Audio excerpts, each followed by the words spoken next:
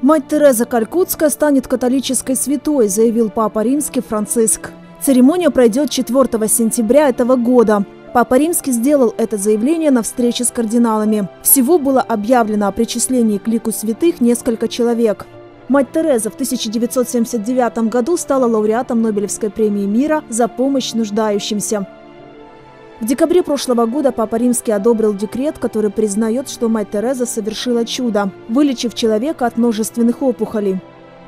Монахиня большую часть жизни прожила в Индии, где помогала нуждающимся. Она умерла в 1997 году. Мать Тереза основала женский миссионерский орден. Сейчас в ордене несколько тысяч людей, которые помогают нуждающимся в разных странах мира.